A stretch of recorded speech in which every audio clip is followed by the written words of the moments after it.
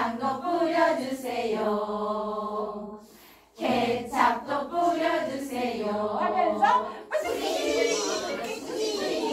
인상을 서로 네, 얼굴 표정까지 살려주면서 그렇게 손님을 해주시면 될 것 같습니다. 한번 표현해볼까요?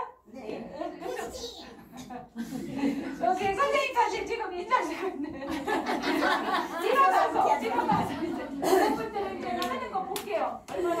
잘하시나 일어나서. 아 거기서. 자 핫도그 아줌마 시작. 핫도그 아줌마 핫도그 주세요. 작은 거 말고 큰 거 주세요. 열 개만 빨리 주세요. 설탕도 뿌려주세요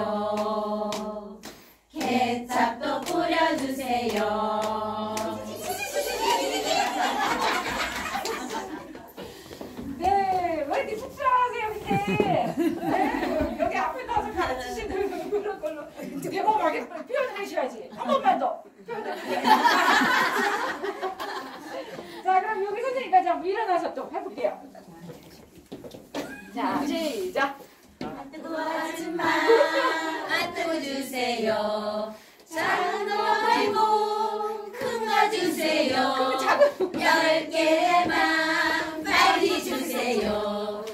설탕도 뿌려주세요 케찹도 뿌려주세요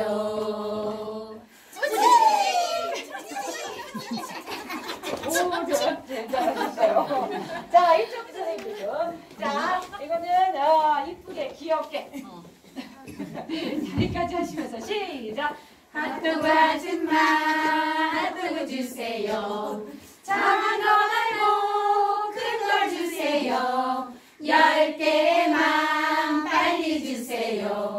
설탕도 뿌려주세요.